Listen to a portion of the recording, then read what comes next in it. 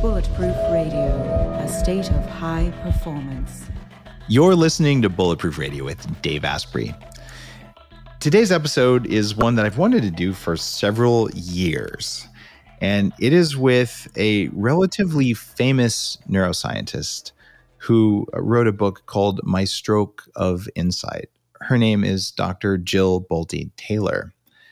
And she had a stroke, and it taught her a lot about her brain and how thinking happens. She's a Harvard trained and published neuroscientist and neuroanatomist who looked at the depths of her own mind. And you're going to learn a lot more about that in the show. And we're going to talk about these four distinct modes of brain cells or modules of brain cells as four characters that make up who you are. So there's tons of learning in here that go from anatomy to neuroscience to really what makes you you. Uh, Dr. Jill, with no further introduction, welcome to the show. It's an honor to have you on. Thank you, Dave. I've really been looking forward to chatting with you because I just know, you know, we're both biohackers in our own weird ways. You did it on purpose, I did it by accident, but boy, have we both learned a lot about the biology of the brain and the body. So this is going to be special. It is indeed. Uh, Jill, it, it turns out mine was maybe less intentional and more accidental than you might think because I didn't have a, uh, a, a, severe hemorrhage in the left hemisphere of my brain, and I didn't lose the ability to walk and talk and read and write or recall my life the way you did. Um, but I did have big holes in my brain on Dr. Daniel Amen's brain scans. He said I had uh, chemical damage from toxins from toxic mold, and I had severe cognitive dysfunction mm. that was so worrisome that I bought disability insurance in my mid 20s. So I'm like, I'm digging myself out of a hole, but I don't even know what the hole is. And once I got out of the hole, I'm like, maybe I could keep going, right. which was the the impetus for biohacking. And that's why your book in 1996, which is back when I was struggling with this, when well, I guess your book wasn't in 96, but your your stroke was in 1996. Talk with me about what happened. Share with the audience what happened to your brain. So I was uh, teaching and performing research at Harvard, and I had a major arterial venous malformation in my left hemisphere that I did not know was there. And what that is, is that is an artery, which is high pressure, connected to a vein, which is low pressure, directly connected without a capillary network in between.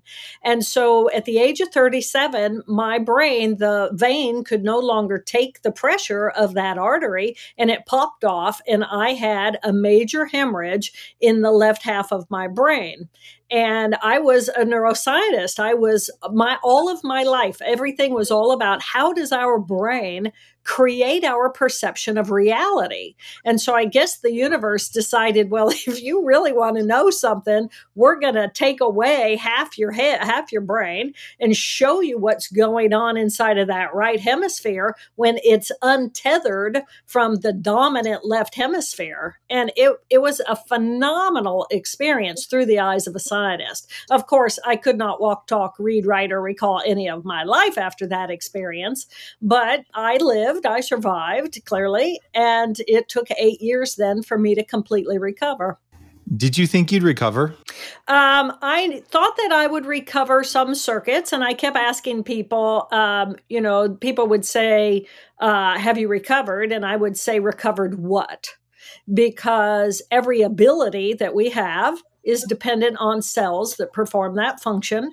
And so I would recover perhaps language, that's circuitry.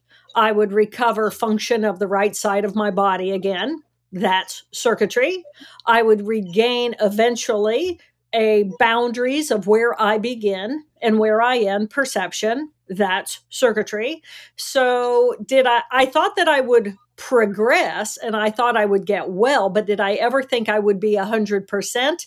Um that was never my goal my goal was to continue to observe and to try and to um, try to regain certain functions or abilities without losing my newly gained perception of what I had gained in the absence of that left hemisphere. So I never thought I would be described as normal again because I would never let my left hemisphere become dominant again but I needed my commitment to myself was I would recover enough to appear normal enough to be able to communicate with other people what I had gained and what I had learned. Now that I mean, it, has been a while since this happened. Uh, what percent recovered do you think you are? Uh, I think I'm I'm uh, about a 120. I think I'm better than I was before. Yeah. I do. I I think I'm better than I was before because I had the stroke at 37. It took 8 years for me to recover and I my goal was to recover to 37 or younger. And so I, I think that I actually became better in the long run. That is so profound and i think it spreads a lot of hope for people who are dealing with oh you know, some something's not working right that it is possible and I, i'm the same way i'm better now than i was before i dealt with all the biological crap i dealt with. Um, your goal was never to get there but you did get there. Did you change your goal at some point along the way when like wow i really like this. I i'm going to go deeper. Did, did you ever go i just don't want to progress. I i want to become something more or it just happened organically well, from my perspective, I became more when I experienced the stroke because what I gained was okay. the awareness that I was as big as the universe. And I gained my relationship to the atoms and molecules around me. I expanded and became open. And then I became aware that if I'm going to be a functional human being in the world, I needed to gain some of those skill sets back from that left hemisphere. But it was never my goal to let the left hemisphere become the dominant personality again who wanted to be boss that so so for me i think that's why i feel like i'm 120% is i have so much awareness now of who and what i really am as a living being and i have such a better understanding about brains at a cellular level what did i lose? What did i gain? And then the recovery of what i had lost made me more What what did you lose? The the left half of the brain is known as the the logical hemisphere, which is a gross oversimplification. But walk me through the perception there, and then I want to transition from what you learned there because your first book, 63 weeks on the New York Times best-selling list. By comparison, all of my books together, I think, have been on for 10 weeks. So this is like a runaway success of a book. And now you've got Whole Brain Living, which is your new book, like what you've learned since then. But I I really think it'd be useful for for me and for everyone listening to get an understanding of, of when your left brain turns off, all that logical, all that thinking, what's left? Yes. So there's a group of cells in the parietal region of the left hemisphere. And the job of that group of cells is to define the boundaries of where I begin and where I end. So I know that my face, I can touch my face and know that that is my face. And I can touch my glasses and know that the glasses are not me. So there's a small group of cells in the left brain that defines the boundaries of where I begin and where I end. And I have to have that perception in order to perceive myself as an individual. So once I'm an individual, another part group of cells in there is for language. So I have the ability to create a sound, dog, dog is a sound, and then another group of cells that places meaning on that sound. So now I have language. I have my individuality and I have language that I can then use to verbally communicate in the external world. And so what that means is that I have an ego. And my ego then defines what's my name? Where do i live? What's my phone number? All the details of my life. And the the machinery of the cells in the left brain are designed to take more information drill it down drill it down drill it down for details details and more details about those details. So it is it is a biological machine designed to give me an identity give me an individuality and through that all the information coming in through my sensory systems now gets filtered through me, the individual.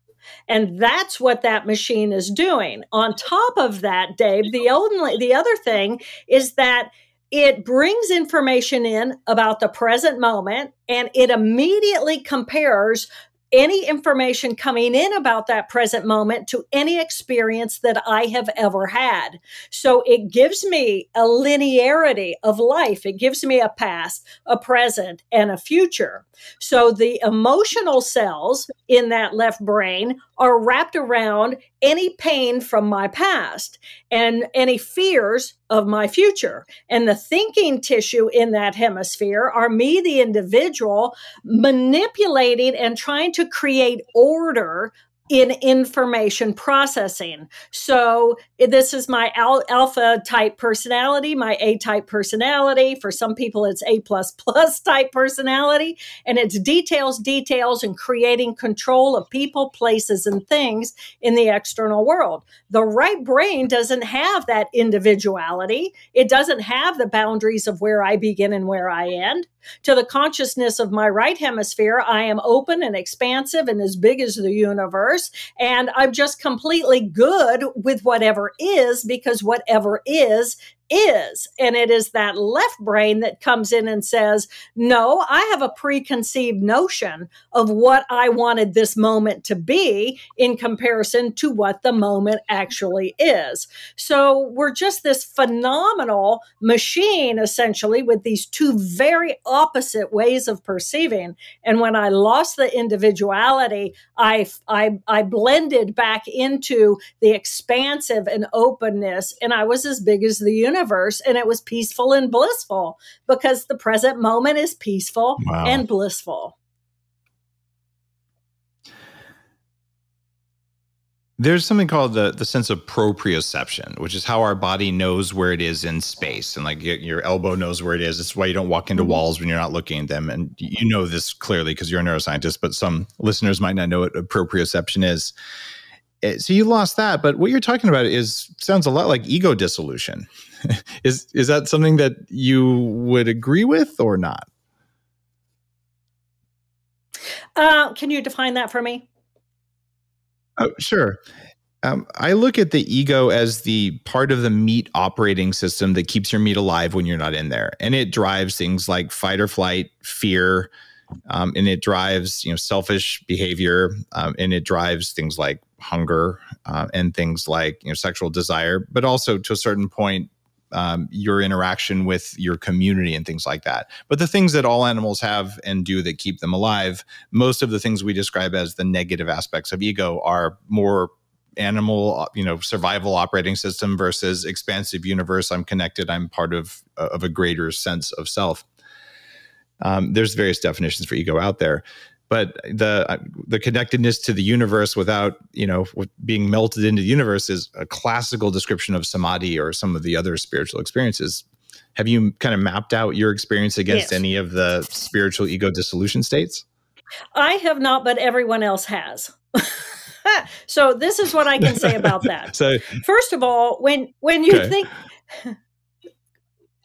so so, um, when you think about the evolution of the mammalian nervous system, so look at the sophistication of the reptile, and they essentially have our brain stem region. It's mostly on off switches. I'm hungry, I eat. I'm not hungry. I want to mate, I mate. I don't need to mate now.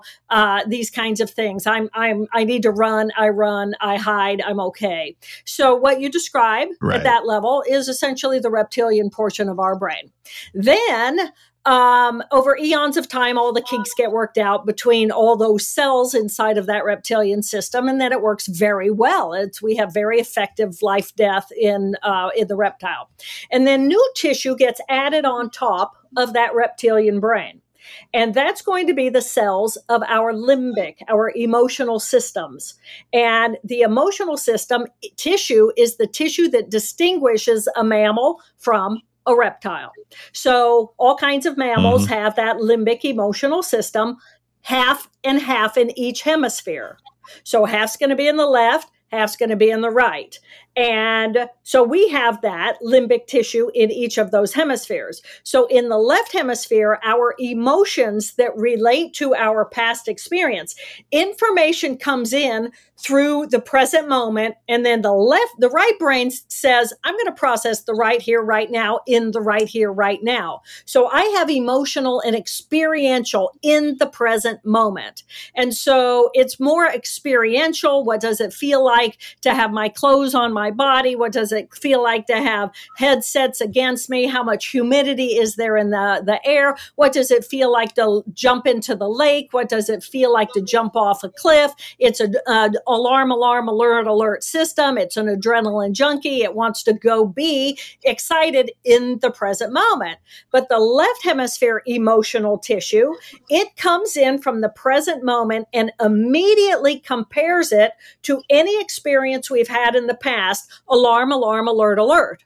So we have these two alarm, alarm, alert, alert systems emotionally divided between the two hemispheres, one in the present moment having an experience, and one in the left hemisphere comparing this moment of threat to any potential threat from the past. So immediately that left hemisphere steps out of the consciousness of the present moment so it's processing in order to save our life. And that's the part that's, that pushes away and says, no, I, I don't like that. It's looking for differences. And it, because it feels safe, with that which is familiar. So if if your skin is my co- my color skin, I feel safe with you. If it's different, then I may push away uh, someone else because of their skin color, because of what language they speak, but to, because of what foods they eat. A million different reasons to spot difference and push it away. And so, and it does it by screaming and yelling because the emotional system is developed when we're born and it never matures.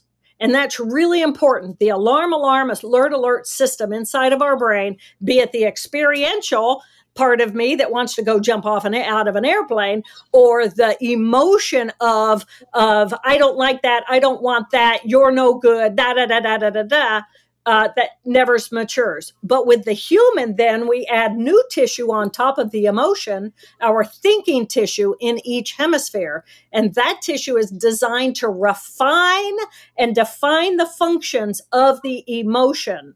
And so we end up with two emotional groups of cells and two thinking groups of cells that are independent of one another and yet completely interactive because as you know the right hemisphere the left hemisphere everything is always happening but there are actually these conversations going on inside of our head. And who are those voices and what do they value? And can we put them into communication with one another so that we actually have much more control over what's going on inside of our head? And yes we do what a uh, what a beautiful description, and that's a lot of the the neuroscience work that I've done at my 40 years of Zen company is, is around where's that voice in my head coming from, and just gaining a little bit of awareness. But your experience is really profound because turning off half of it would just shine a light on it in a way that no one on earth could have handled better because you already knew what was going on versus just really terror and mystery. You're going, oh, look at this. I totally know this. So I that's why your your first book has been fascinating. Right. And your new book, Whole Brain Living, is only you've only done two books with a lot of time to learn and share a lot of wisdom. So I'm really excited about it. And you talk about four characters in the brain. And I think you just touched on some of that when you're talking about these systems uh, talking to each other. Can you define the four characters from your new book? Yes. So um, the way I do it is I take a, a, brain and I open it up, so cut the corpus callosum, and then I go left brain thinking will be character one, left brain emotion will be character two, right brain emotion will be character three, and right brain thinking will be character four. Now, I personally name my four characters, and I think everybody should. I haven't named your four characters for you because I want you to pick names that are just ring true for who you are. Because when we get lost in the carry in the emotion and pain we need to be able to call on the rest of our characters to help us rescue ourselves from our own emotional reactivity.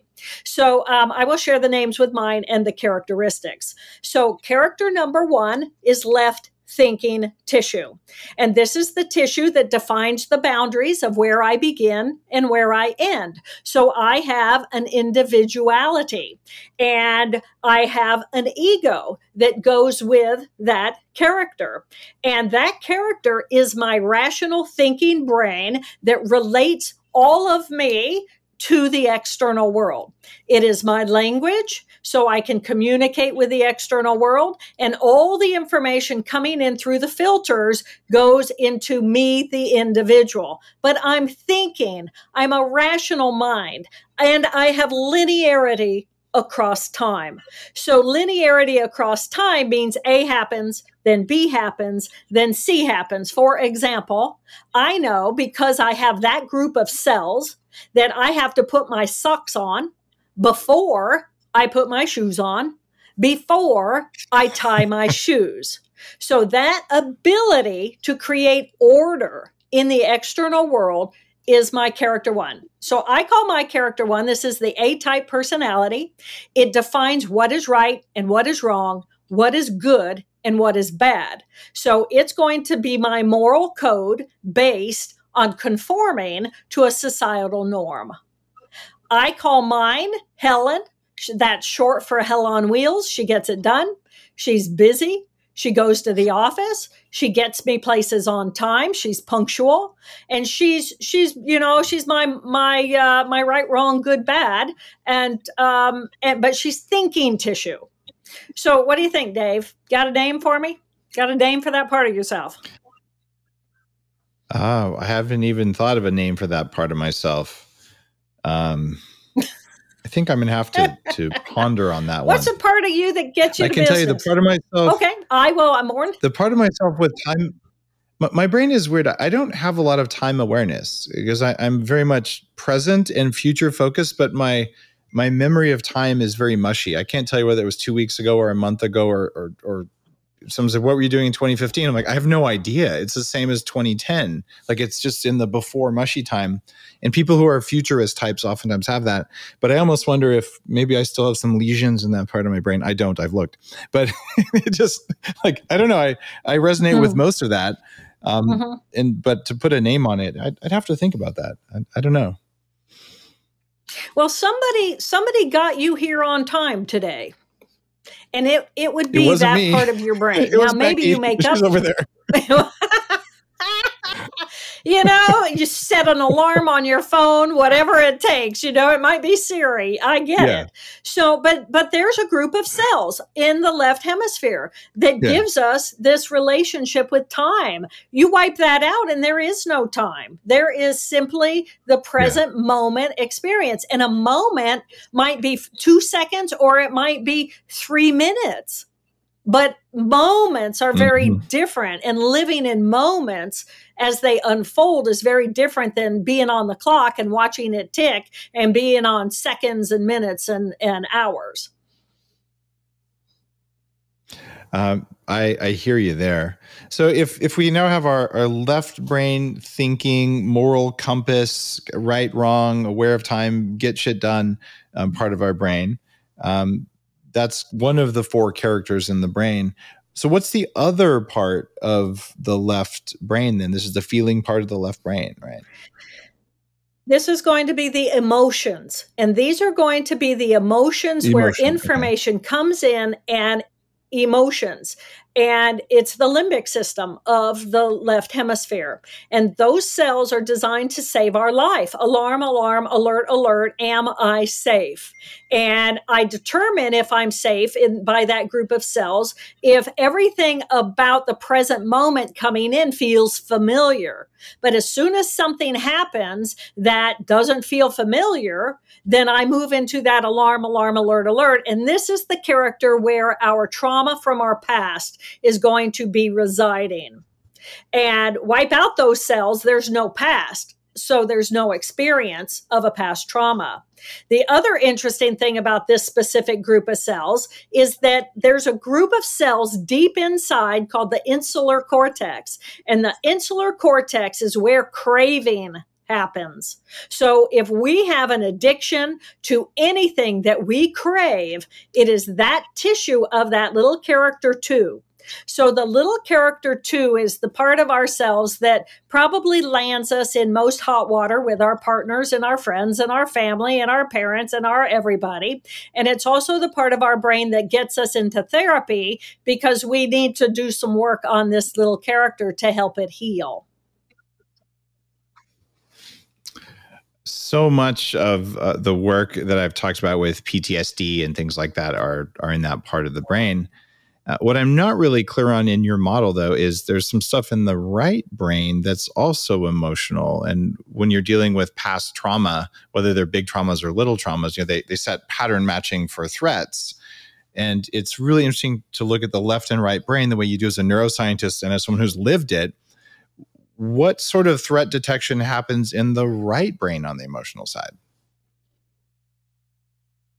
Oh, and what's your name for character number two? I got to get your name because.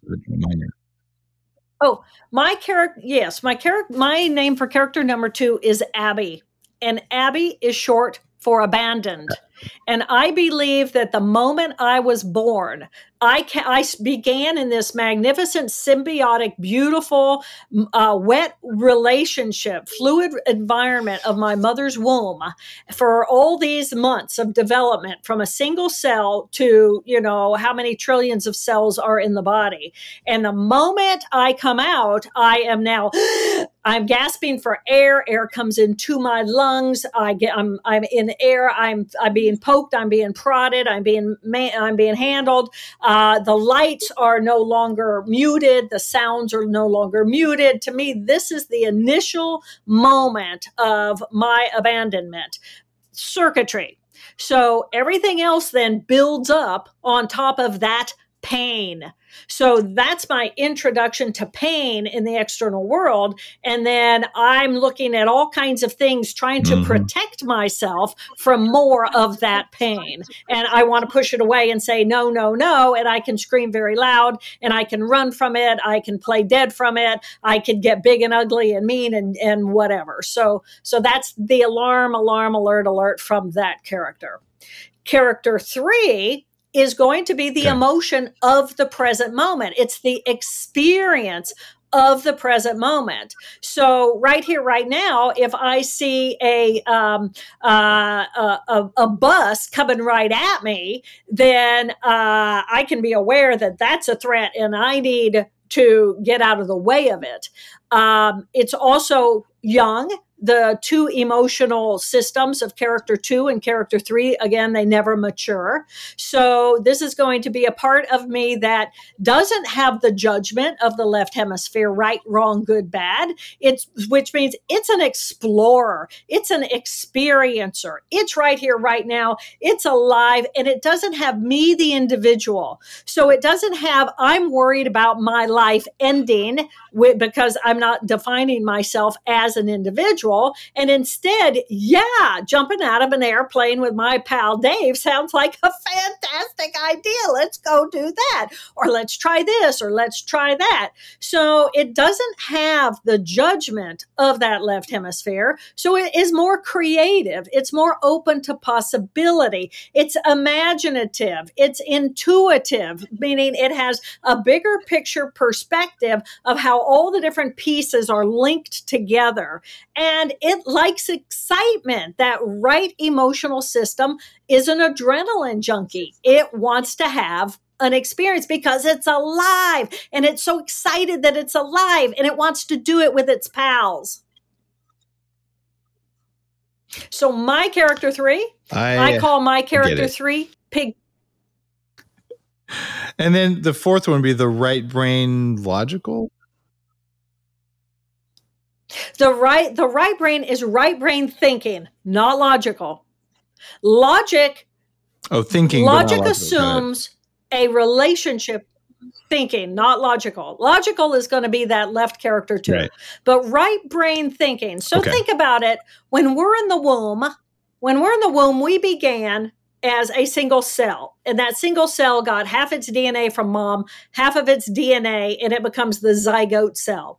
And then that zygote cell makes it into the womb and it multiplies its DNA and then repackages the DNA into two cells. And so the cells multiply and divide, multiply and divide, multiply and divide, ultimately at a rate of 250,000 new divisions every second every second.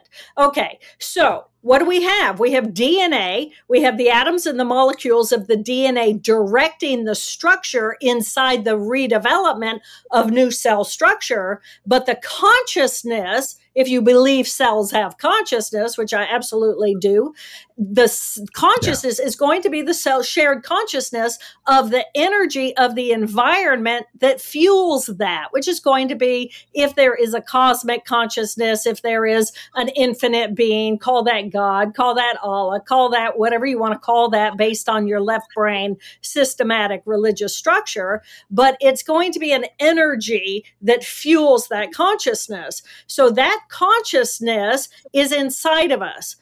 Every ability we have, we have because we have the ability to perform that function. It's dependent on cells. So if I can have mindfulness and I can bring myself into meditation and I can find through prayer or through meditation or through even uh, enhanced uh, um, drugs, uh, psilocybin, I have the ability to hook into a circuitry that already exists inside of my brain. Anything that has an impact on me biologically is working a system that I already have biologically. So I believe that that consciousness of that character four, which is completely as big as the universe, open to all possibility, which was all I had left after that hemorrhage, was that character four consciousness. And it was essentially a consciousness that felt like love, pure, unconditional, blissful love.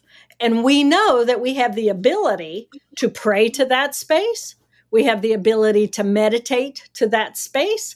And we know we have the ability to use other substances that allow us to get to that space. So that's character four. And what's its name for you? For me, my character four is called Queen Toad.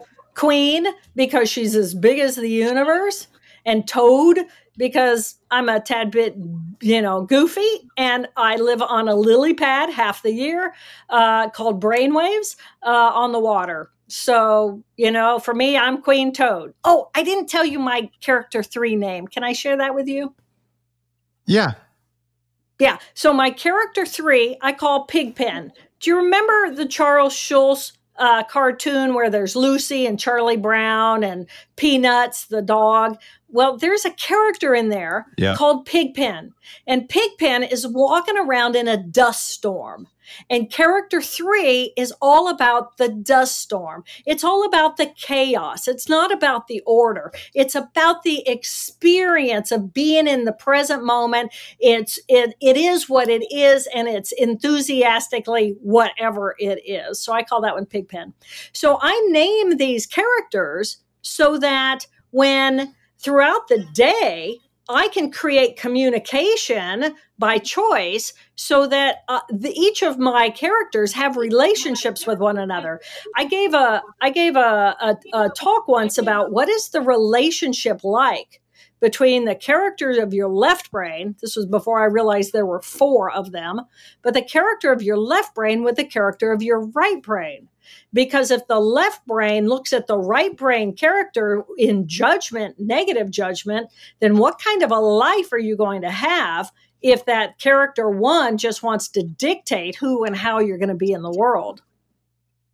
If you have that inner that inner critic going on, and uh, this is a rampant problem in society right now is it usually one of those four characters talking to another one of the four? Which is the one doing the the inner judgment shaming and which one is it shaming and judging? Well character one has the definition of right and wrong and good and bad. And but if i'm able to experience the emotions of shame or guilt or embarrassment because all of these are resentment. These are emotions based on something that I did in the past. If I have the capacity to have those emotions, I receive it as my character two. And it might be the character two who then turns that negative energy internally and I don't feel worthy. I don't feel worthy of love. I'm I'm not good enough. I'm not enough period. Whereby the character 1 can or or if it's directing it into the external, I'm going to blame you for why things are not good. I'm going to insult you. I'm going to criticize you. I'm going to be mean to you. I'm going to kind of try to control you. I'm going to to have an emotion. So in answering that question, I will say if it is a thinking directive that is saying A, B, C, D, you don't line up, I'm going to say that's your character one making that criticism. But if it is me being belligerent and emotionally attacking, then that would be character two. But the right hemisphere doesn't look at the world that way because it doesn't look at you as an individual or me as an individual. So, post traumatic, anything that's going to experience the trauma has to have the trauma from the past. I have to have the circuitry of the left brain in order to be able to have any perception of that at all. It it makes so much sense. And and you said something in there that almost slid under the radar. You said you firmly believe that cells individually have their own consciousness. I, I fully share that perspective, but it is not the majority perspective. In fact, I think a lot of our behavior is emergent behavior from cells running old programming, and enough of them in a network make complex things. Um, how do you know, or why do you believe that cells have their own consciousness? And what does that mean for neuroscience?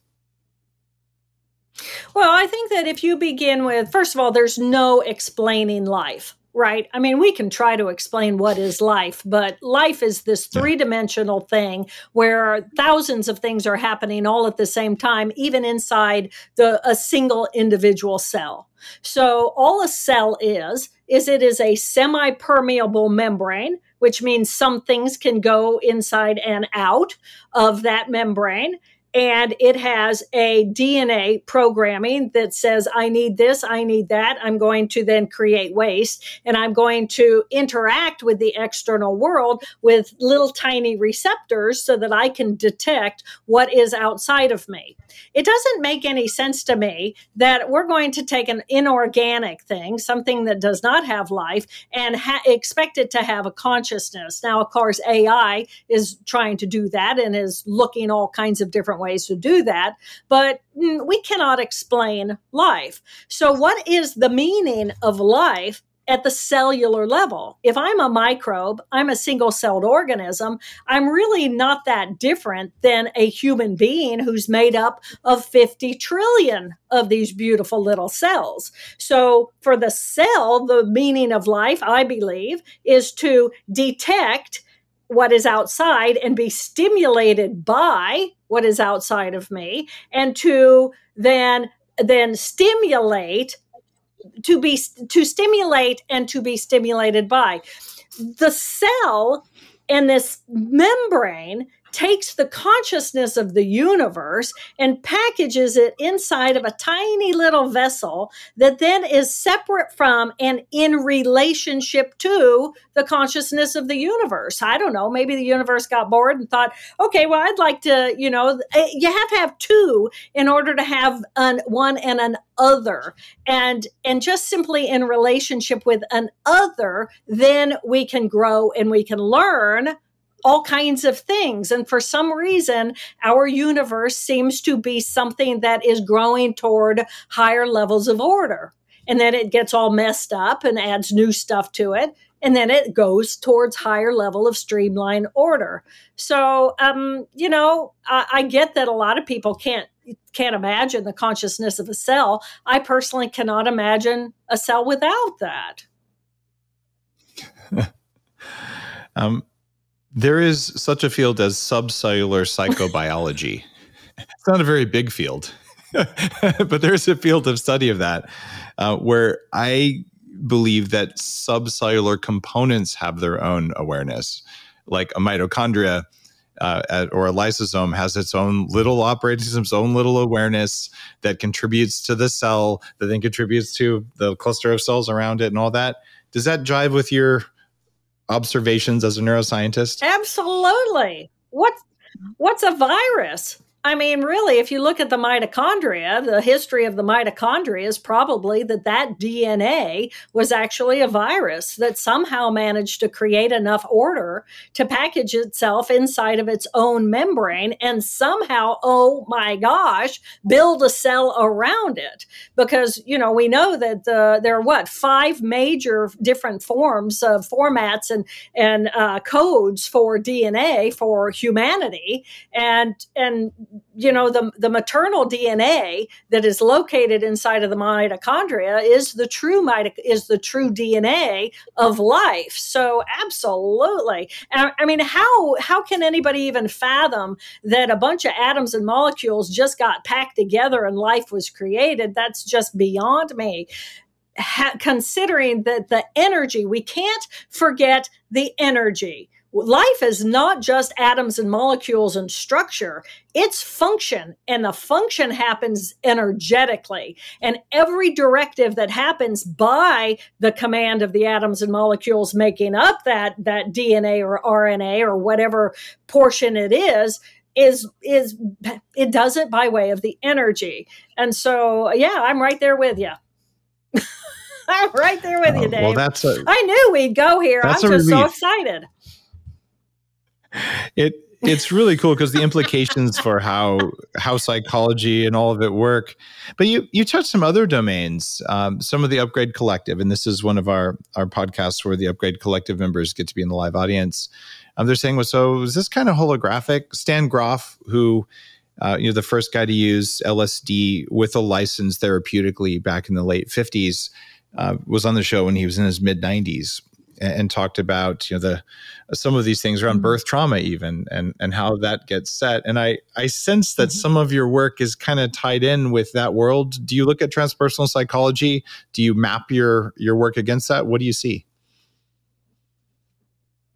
I think that uh, you know my how i think about the brain and the body from because I go from that single cell that we began as and the single cell that exists in on its own you know um, so so i'm that's my world. That's how i think. And as as i had to recover i know where i went. I know what it felt like to be there. I know what i lost. I know what i gained and I know what it took in order for me to come back and get the cells inside of my brain to either neuroplasticity themselves into new circuitry so that I could regain function or actually grow some new neurons, uh, neurogenesis in the areas of trauma. And to me, um, I believed in the ability of my brain to recover itself. I did not go to any external sources and ask, how do I do this? Because, first of all, I existed in a, in a society that didn't believe that um, neuroplasticity, I mean, neuroplasticity, I think was what the coined a term in 82 or 86, and this was in 96, and it was not well, you know, uh, developed. And neurogenesis didn't even happen until after that nobody believed it. And but i was given a, a, tremendous gift.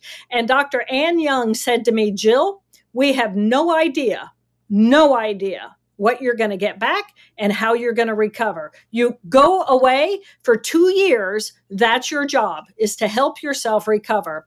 And I wasn't put on a short timetable of 3 months or 6 months or even a year. I was given time to relax into what I had and what I wanted and I was allowed by my mother to create my own routine and my own pattern. And then she watched me progress step by step by step and asked herself the question what is the next natural step for her to achieve and what is standing in the way of that achievement? And sleep was absolutely enormous. Um, love was absolutely enormous. Support and encouragement. So when I think about about the brain and what did it take? What did I lose and what did I rebuild?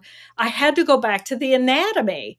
And I didn't realize that and and you know dave i had 300000 people come to me after that ted talk i i ended the ted talk with saying we have the power to choose who and how we want to be in the world and i had 300000 people write me and say you did it because you had a stroke how do i do it and I had no answer to that question because I was going from right to left and they needed a roadmap to get from left to right. And then we have all these psychologies and all these philosophies and all these theologies and all these ideas. And it was like, I just had to get out of that and figure out for myself. And I became aware of this roadmap through my perception, not based on what else is going on. But the minute I realized that people think we only have one amygdala and one hippocampus, and what that said to me was people think we only have one emotional system, and we don't. We have two emotional systems, and one's in the present moment and one's in the past, present, future timetable, and that changes everything. And then all of a sudden, everything else unfolded based on the anatomy of the brain.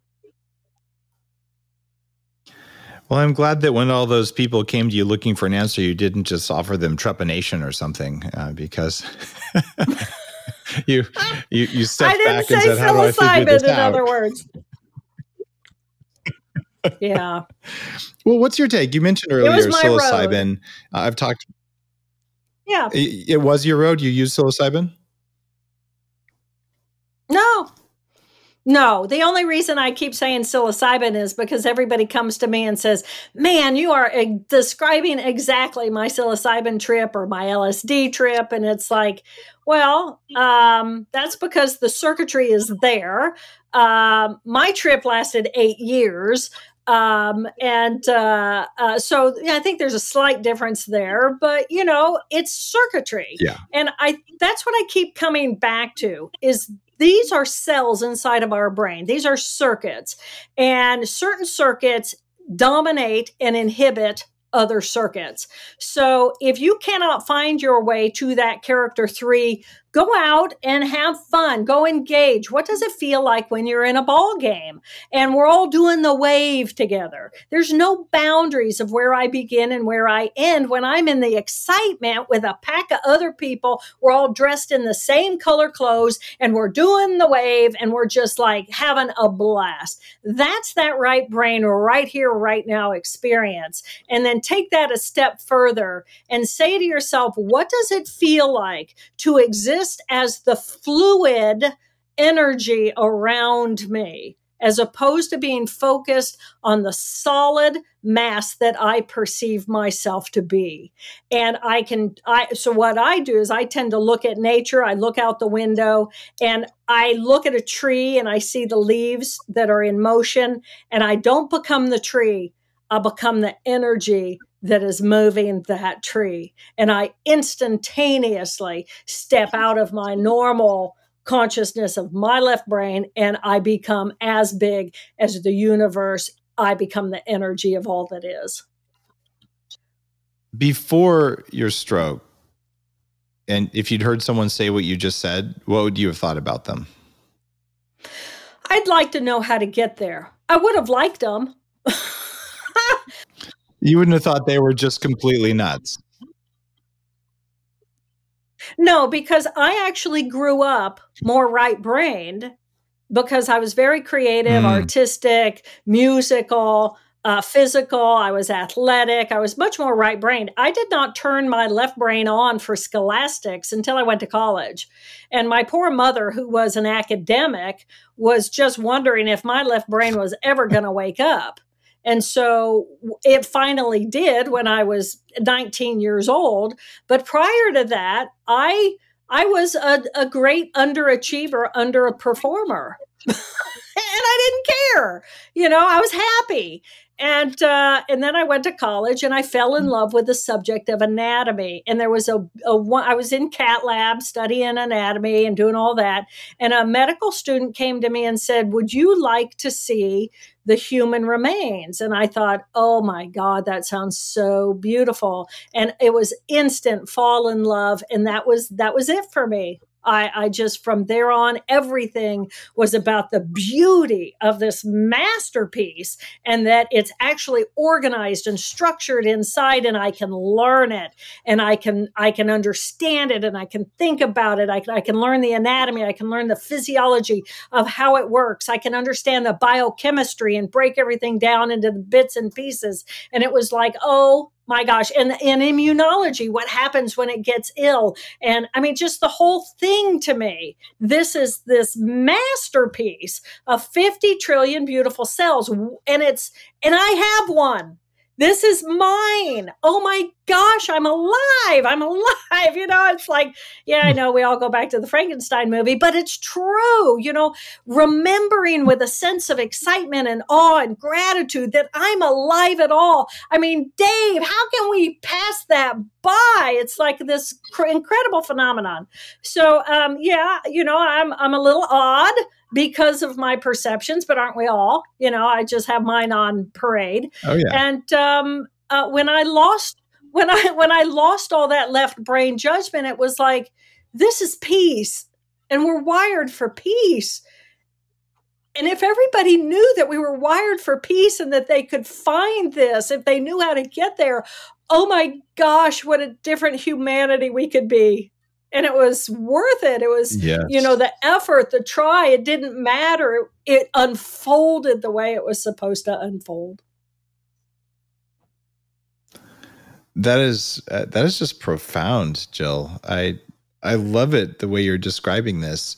It, it has some aspects of what uh, Dr. Barry Morguelan, um, who's a, a grand master of Lao Tzu's oral heritage, who's who's done a lot of training with me um, and has been on the show a couple of times. He talks about you know connecting to the energy that's around you, uh, and very much similar to the way that you're talking about connecting with the tree, uh, which is really cool. And it's got some Joe Dispenza uh, sort of thinking in there, who's been on the show as well. So it seems like there's a, a school of people from different experience sets, different lineages. Stan Grof for sure.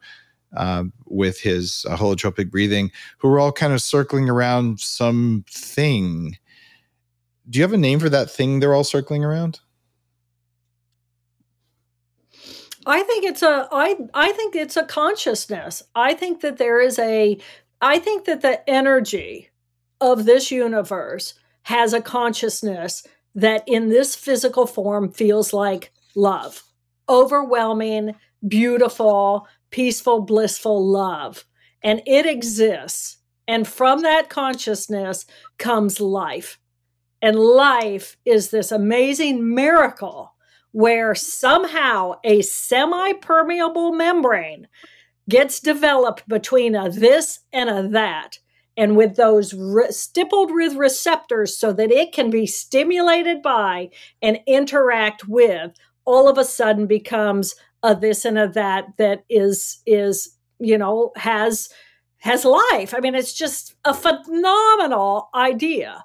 But, you know, I think most of us don't think about it. We study it. There's a cell, there's a liver cell, there's a brain cell. They work together. It's like, no, no, no, you're missing the point. You're missing the wonder that the cell exists at all, much less a single cell. And then that cell could only get so big and have so much surface area in order to be a single cell, in order to have a single life that eventually that cell wanted more surface area to have more receptors so that it could have even more interaction with the external environment. So it multiplies and divides and becomes a multicellular creature. I mean, the phenomenon that we exist at all is it's impossible. It is absolutely impossible for us to conceive that life exists. And so to not recognize and honor that phenomenon to me is the biggest miss of who we are as living beings we miss the awe and beauty of our life. And if we miss that, we don't live our life with gratitude for the fact that I have time in this form to be stimulated by and to stimulate others. And to me, that's a huge, enormous miss that so many of us have. Did you come back from this, you know, eight-year journey um, with experiences of reincarnation, past lives, other dimensions, aliens, or any other stuff that people talk about? None of the above. I'm sorry. It was just uh, none of the above. I didn't. I didn't have the white light. I didn't have the typical near death experience. All I had was was the experience that I had through the filter of whom I had been before, and that was absolutely 100 percent cellular anatomy based. And in looking at myself as a yes. cellular anatomist, whole body and neuro at the level of the tissue. I mean, I know what these cells look like. They are beautiful. They're masterpieces. Every one of them. Mm-hmm. If you ever mm-hmm. look at a liver and you see how those beautiful cells all line up to do what they do, it's like, oh my gosh, a genius came up with this plan. Yes. No, uh, if I there's one had, thing I've learned I from, just had a major experience. a major experience. I I love that. Uh, we have a little bit of a lag on the line, which is fine, but I didn't mean to cut you off there. Um, if there's one thing I've learned from mm. biohacking and first recovering and then improving performance, I think that consciousness starts in the cell is one of the most important things everyone could pick up because it gives you so much power and influence. But then you talk about patterns and pattern matching, which is a big part of, of my path as well where does the pattern matching happen? Is this a brain thing? Is it a body thing? Is it an individual cells? Is it a network of cells? Do you have a sense for that? I do, of course. So, you know, when I think about patterning, I mean, if you think of that I'm a cell and then I want more experience. So I'm going to multiply myself and, and I'm going to be 50 cells. And then I'm going to look something like a jellyfish and I'm going to have instead of bones and a nervous system with separate neurons, I'm going to have what we call a neural net. And the neural net then has an experience on one side that waves through to the other side. But then, and these are the invertebrates. And then eventually, neurons become separate entities that are going to have a relationship. And the thing about neurons, Dave, is they, the more you use them, the stronger the connection in that pattern becomes established. And so the more I think a certain certain thought, the cells that are doing that, let, let, let's say uh, character two, I see a snake. Oh my God, I hate snakes. Oh my God, fear, fear, fear. So the more time I spend running that circuit of fear, fear, fear, the more habitual it becomes, the stronger it gets. Now, this is how we make new habits and we can actually change how we react and how we respond and we can develop new cellular patterns consciously. And to me i guess that's what whole brain living is about. It's about recognizing character one has a routine pattern of of response giving it skill sets that end up having a personality or character in the external world that always shows up, holds my body a certain way, does certain things, sounds a certain way, puts in my earrings, and gets me to an interview on time. That is a patterned response for that group of cells. And character two is the same because character two is a group of cells. Its job is to bring information in about the present moment, look at it all, and look for a reason why I want to say, no, I don't like that. Push it away. That's dangerous. That's a pattern response and it's on automatic. Can I change that automatic, uh, the automaticity of that? Yes. Monks have been shown to be able to even suppress yeah. a startle reflex with a gun being shot off behind their head. How do they do that? They're shifting which groups of cells are responding under which kinds of circumstances. So that's all we are. We are cells in circuitry. I won't say that's all we are, but we are cells in circuitry and those circuitries run in patterns. And now I, you know, so let's take that to, okay, well, let's say I die what happens to the energy when my cells are no longer alive? What's the difference between me being organic and alive or me being an organic mass that is now waste, then the energy patterns from those, from the body, from the cells, they're an energy pattern that has become related to the density of this life form of all these trillions of cells. And so, as it leaves, does it leave in a single mass? Does it have resonance now and vibration together? Do bits and pieces of me breed off? I have no idea what happens after I die because I didn't go there and I didn't die. But I think from a pattern energetic response, I think that's I think that's an interesting place to, you know, those are interesting conversations it starts getting into uh, information field theory and what uh, Lynne McTaggart, who's a friend uh, through Jack Canfield's group, wrote about in her book called The Field. So there's some kind of an electrical or field based thing that's telling some of these cells even where to grow and how to grow. And so there's there's a rational scientific argument that the energy and the pattern has to go somewhere when you die. I'm not saying I know exactly what that is, uh, but to say that it can't go anywhere right. and it goes poof well, we don't have the evidence that that's true either. It's one of those being curiously scientific and not dogmatic about it. But there's, I think there's work to be done scientifically on what you just said, right? Oh, oh, absolutely. You know, when I think about the scientific method, I love it if you're trying to use it to explain the external world that think that is linear by definition the scientific method is a method. You have to be able to run the method and repeat and and get the same kind of uh, results so the left hemisphere, by methodology, it can study left brain things. But things like life, how on earth would anybody even prove that life exists? I mean, it, it's it's outside of the realm of the method and outside the realm of methodology. So how do we measure and how do we better use find other tools and there's some you know there's just beautiful people doing amazing work now that is beyond the box of how the left brain thinks. It it's kind of funny. The definition of life from the left brain is a lot like the supreme court definition of pornography. I can't define it but i know it when i see it. Because they're saying how, how do you know what the edge of it is? And they don't really know now, uh, but it's true. You know, it's it's absolutely true. Uh, now, speaking of pornography, not really.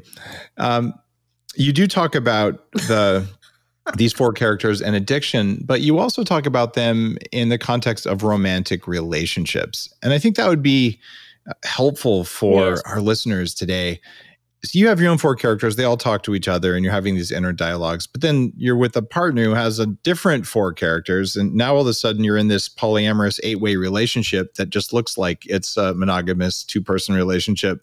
What's the implication for relationships of your work? You know, I it's I, have actually been using this on couple therapy with uh, uh, some friends of mine who are couple therapists. They've asked me to come in and apply it and see how it goes. Um, I have four characters, two emotional, two thinking groups of cells. You have the exact same neuroanatomy, not exactly the same, but relatively speaking. So I have these four characters that I can learn about. I'm looking now at you and I'm realizing you also have those four characters. Now, so uh, I'll give you a great example a friend of mine is a school teacher and you know what it's been like uh, during the last year for teaching school. She's at school she's got half her kids on zoom half her kids are present. She's got the classroom to organize she organizes the home she organizes everything. She's a character one strong character one likes order predictable but she does have a fun character three. I'm sure she's got a two as well. Um, and then her husband is now working at home because of the pandemic, and he's very much a character three. And he's very playful and he's very joyful and he's in his he he likes to do tennis and and he's he's more in the present moment experience, but he's getting his job done. So my friend now, who's the character one, can call her husband up and say, "Honey, I'm coming home." Now, I'll tell you what, if you can give me 30 minutes of you being a character one with me and you help me get my things done, we can spend the rest of the evening playing as character threes together. And he instantly knows what that means. And he's thinking, oh man, that's awesome. Half an hour? I'll give you half an hour of my one. I'll work with you, and then we can play the rest of the evening. Now, that's a completely different kind of scenario and conversation than she comes home and she comes home as her character one, and he's ready to go play as a character three. And so she comes in and says, no, no, no, I'm sorry. I, I got to work for half an hour. I could use your work. And he goes then into his character two, and he says, Well, I don't want to. I don't want to do that. I want to go play. You know, I'm you're coming home. It's time to go play. I want to go play. And then she moves into her character too. Well, I'm not happy either because I just need you to give me a little bit of consideration and help. So the way that this language can can just go straight to the point and help people really communicate with who's coming home, who's who am I being, what's going on, uh, we notice that when one of us is a two okay now i can recognize you're not you're you're you're not happy. I can come in as a one and i can be supportive and see if there's something i can do to help fix a problem. Is there a problem? I can come in as my character four and nurture you and support you and let you know I, i'm happy i'm here. I'm happy to hear you. I'm happy to love you. How do i do that? How do i help soothe you? And then maybe you feel nurtured and soothed by my character four. And so then my character three comes out and says, How about we go get some ice cream? You know, and then you say, yeah, ice cream would be nice. So what it does is it really cuts through all this, you know, I kind of look at where, where these trees and our thoughts and our emotions and our behavior are the leaves on that tree, but the roots are really where the issues are. And if we understand the, the anatomy of what's going on in our emotions and our thoughts and our behavior, oh my gosh, we can really communicate at, a core level of what's going on with your four characters what do you need from my four characters and how you know just it's a whole new level of intimate communication. I think there's a lot of applications there and you definitely cover that in your book uh, and so you're listening to the show right now and you're th- saying all right it's pretty clear that jill knows a few more things than the average bear we'll put it that way uh, and it is well encapsulated in whole brain living. So if you're looking for a book to listen to or read, um, mm-hmm. this one's worth your time. I interview a lot of authors, uh, but there's there's some incredible wisdom and some unusual stuff in here. Uh, Jill, I want to ask you another question before we go into some questions from um, our live audience. And in chapter 12 you talk about the influence of technology on the brain and you say advancement of technology not just in the last 20 years but the last 100 years has had a huge impact on our brain's development bigger than we would think what do you think technology has done to our brains and is it good or bad well, I think, uh, you know, we're life. We are constantly transforming into the next thing. We are ongoing mutation. And that's the beauty of what we are as life. We are adaptable and flexible by nature of that right hemisphere. So, but what has happened is that um, the, the boomer population, uh, and the our parents, the GI generation that fought in World War II, um, we were taught left brain skills of reading, writing, arithmetic, all kinds of skills through the tools of our left brain. So when I was in school, I learned the multiplication uh, tables. What's two plus two? Four. I memorized it. I didn't think about it. I memorized it. These became the way that we learned and trained our left brain. So the left brain becomes very left brain based, based on the tool. The millennials were the first population. So the millennials are technically the children of the most generally the boomers and some of the generation X, which is right behind the boomers. So the group of millennials, millions and millions, enormous population of children, they were the first population where we actually put a automaton a little teddy bear that talked to us and self-soothed us in our crib. So the millennials their primary relationship for self-soothing wasn't with a human. It was with this little teddy Ruxpin was his name. And and this was the big thing for the American population of millennials. On top of that then, we the millennials grew up having their own technology. So they, you know, we boomers, we wanted our kids to everybody to have their computer and learn technology and learn all that stuff. But they learned left brain skills through their right brain, right brain teaching tools that were games and different kinds of two plus three became two chickens and three cows equals five animals. Well, that's very different than, ro- you know, just memorizing that timetable or that mathematical table. So the millennials have nurtured their right brain. They have become a primary right brain living in the world of an establishment developed by left brain dominant people.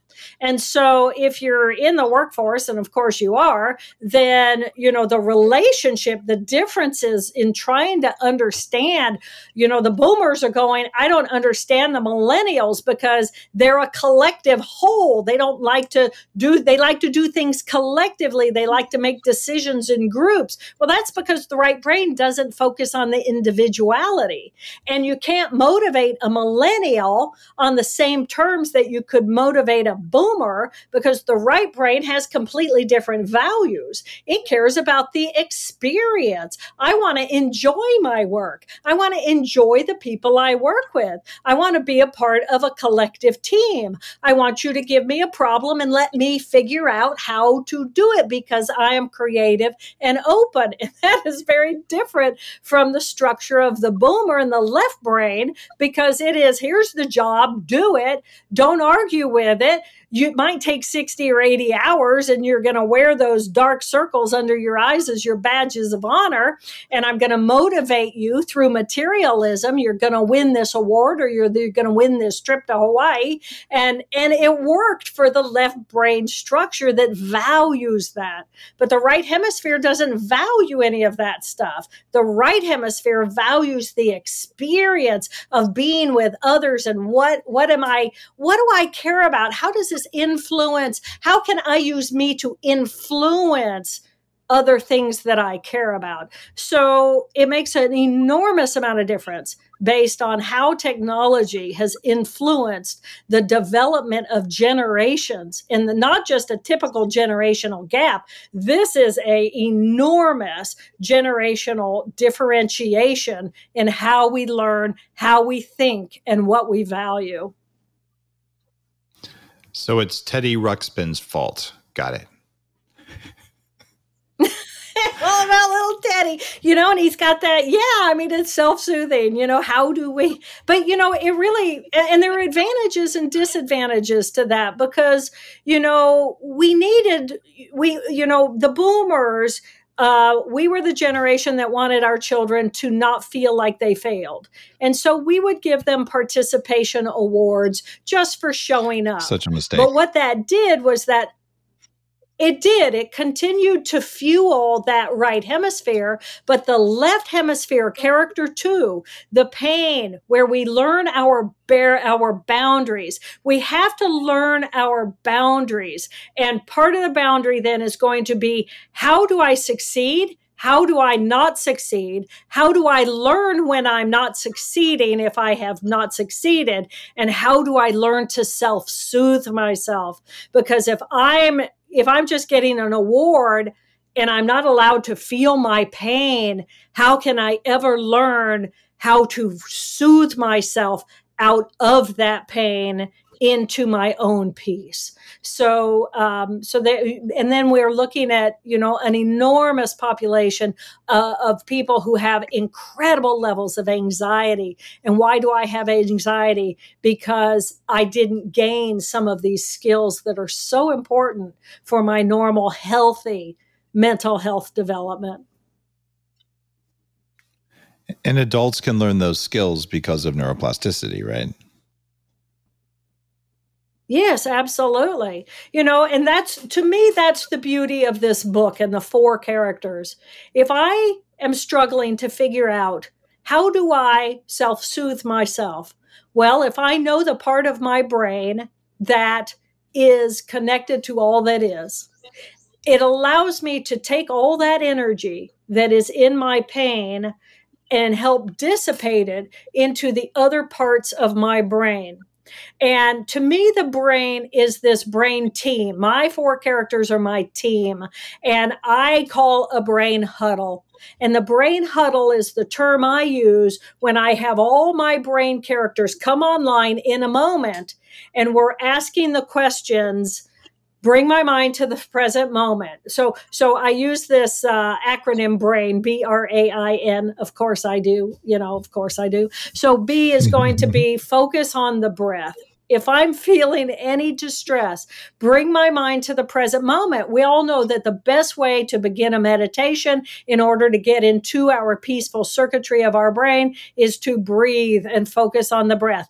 We breathe. The first thing we do when we when we gain life and we the breath is the last thing we do before we have no more life. So it is this consistent thing that fortunately we don't have to remind ourselves to breathe but we can bring our mind to it and we can breathe deeply and we can focus ourselves in the present moment. So b stands for breath to the present moment. R is recognize in this moment which character am I in?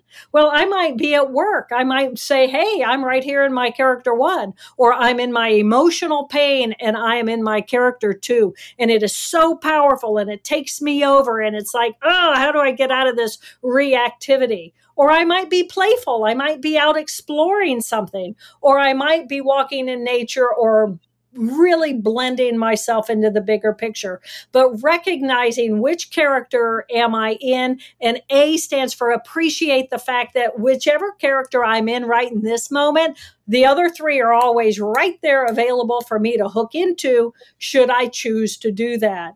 And then I stands for inquire. Which character do I want to embody in the next moment? Mm-hmm. What is the one that I think is going to allow me to live my best life, make my next best step?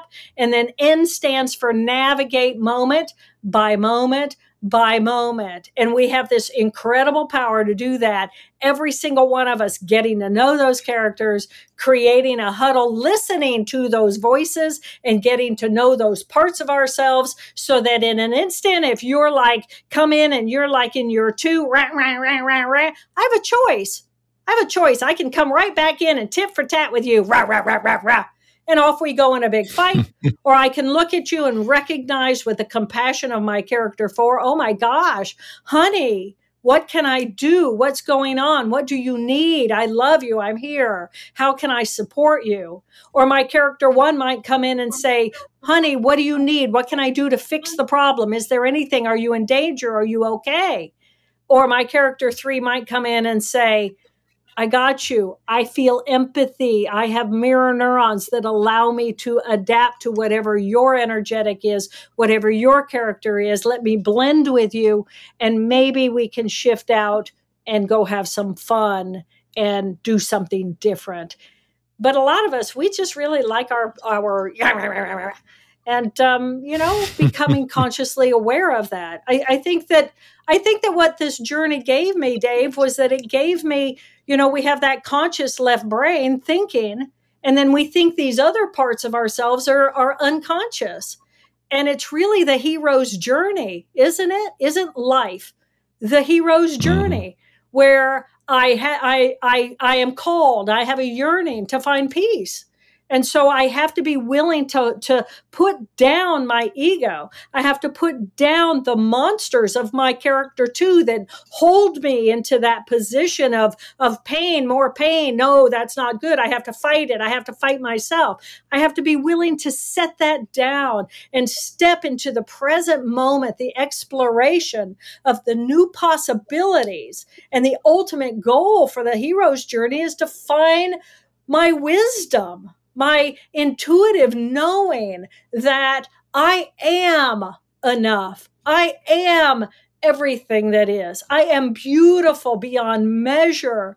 And then what do I do with that information when I come back and I pick my ego back up and I become me, the individual again?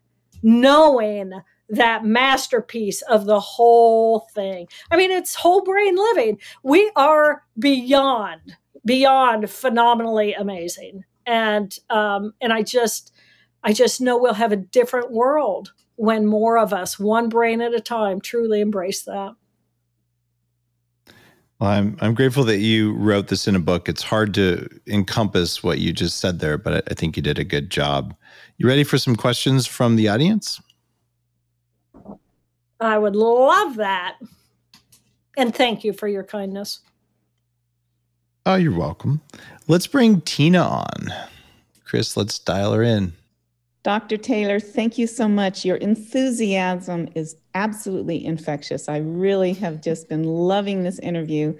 I hope you read your book because it would be disappointing not to hear that that infection come out and the the combination of of scientific geekiness and spirituality and enthusiasm is is absolutely amazing so thank you my question is what is your opinion on the use of pharmaceuticals that impact the brain like um, ssris for mental health or low dose naltrexone for for um, like immunological neuropathies or even addictive behaviors? And how do they affect those four um, different components of the brain? Beautiful. Thank you, Tina. Um, and yes, I did read the book, so uh, you will definitely hear this uh, this voice if you if you get that copy of it. Um, I am an advocate for uh, better living through chemistry. Um, sometimes it is necessary to have that be for a long term period. And sometimes little hits and misses or little hits can make a big difference in shift of perception. So, you know, when I think about the brain and I think about the cells and I think about serotonin, for example, as the antidepressants, if if the serotonin system, if this is a group of cells and the cells are communicating with one another with a chemical, and the chemical is serotonin. And there are certain ways that we can naturally increase the amount of, of serotonin in our brain. For example, by eating something that has tryptophan in it, which is a precursor to turning into serotonin. serotonin. But sometimes we need more serotonin. And the beauty of some of these antidepressants is what they do is they block the reuptake of the serotonin out of that synaptic gap in between those cells so that the serotonin can hang out longer and therefore have more impact on its downstream system. So I'm, you know, uh, not all medications are created equally. Um, I'm always an advocate for looking for a natural solution. I'm always looking for a solution that is not a long term solution, but there are times when we absolutely need the long term solution, and it's going to look like a pharmaceutical. So um, I think every person has their own unique brain chemistry, their own unique circuitry, and uh, paying attention, though, and taking responsibility for paying attention to what is going on, I'm not going to say it's bad. I'm not going to say it's good. What I'm going to say is every brain is unique, and you need to, each one of us needs to pay attention to how is whatever we're consuming influencing our bigger picture of the anatomy and the circuitry inside of our brain. And is that enough? Now, I have a brother diagnosed with schizophrenia and his cellular circuitry is physiologically, structurally different than normal. So my brother has to take an antipsychotic medication in order to not be aggressive. Now, these antipsychotics are not going to make him not psychotic, but it is going to influence him by lowering his level of aggression so that he can become a uh, a bit healthier and become a a better version of himself in his society. So I'm going to say every brain is different and and just getting to know your own circuitry um, and and you know it's um, there's so many different options out there. And and dave i have certainly learned so much from you about in your books about how your different experiences and experimentations influence that cellular circuitry in different ways. So um, uh, you know we only have one brain. I encourage people to do things that are going to bring more possibility and more health to those cells as opposed to cellular destruction. Um, alcohol is um, uh, we feel drunk because the cells are drunk. Um, so that's and then they die if they get you know dehydrated and they burst and they crenate and blah blah blah blah blah. Um, so i'm going to just say every brain is, is, be careful. Pay if you're going to do things um, aim for health. Aim for things that bring those cells more life instead of less life. Love that. And thank you uh, for your question, Tina. I want to move to Hetty. You had an interesting question as well. Thank you so much, Dr. Taylor. I have enjoyed this tremendously. Um, my question came up when you were talking about memory. Um, and I'm wondering how close do you think we might be to designer brains. I'm thinking going to a place like Upgrade Labs with equipment that will manipulate brain tissue to delete memories, um, uh, help with PTSD, or stimulating areas to enhance uh, neurocognitive function. Um, where, where are we with that? Are we looking at that? Yes and we're doing all kinds of interesting things. And I say, do your homework, do your homework, uh, explore uh, what what circuitry in your brain um, is thriving and what circuitry is problematic, and then look at the different resources available for how we influence the brain. We can influence the brain chemically, we can influence it electrically, we can influence it in all kinds of ways. Um, so, so yes, um, we can even stick little chips in there and have, uh, you know, night vision. I mean, it's phenomenal what kinds of things people are are how they are biohacking uh, these cellular structures. So, my advice to you is do your research. There's a lot out there. Um, look for, uh, uh you know, what has a good success rate. Um, Dave mentioned earlier, Dr. Uh, Amen um, it, that may be a clinic environment that might give you the kind of information that you want. I, I love the philosophy. If I if I had been an MD, I probably would have done more or less the same kind of thing that he does. I mean, how can we understand the brain if we don't actually go and look at it? So um, uh, exploring um, different options. That's what I'm going to say. Explore different options. Do your do your homework, and then you you have to you know follow your own spirit because ultimately it needs to be your uh, your diagnosis, your prognosis, your success, your effort, and your willingness to participate in whatever the recovery or recreation is going to be. And, and Hetty, for neurocognitive function, I, I, we do a lot of that at 40 Years of Zen, and I have a bunch of other tech that's not a part of that. So I know we can turn that up, and there's plenty of evidence. I've interviewed enough people. Yes, you can raise your IQ by more than 10 points, things like that.